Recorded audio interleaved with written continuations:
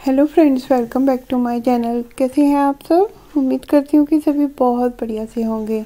जैसे ही ठंड कम होती है तो बच्चे फुल स्लीव की स्वेटर पहनने को मना करते हैं।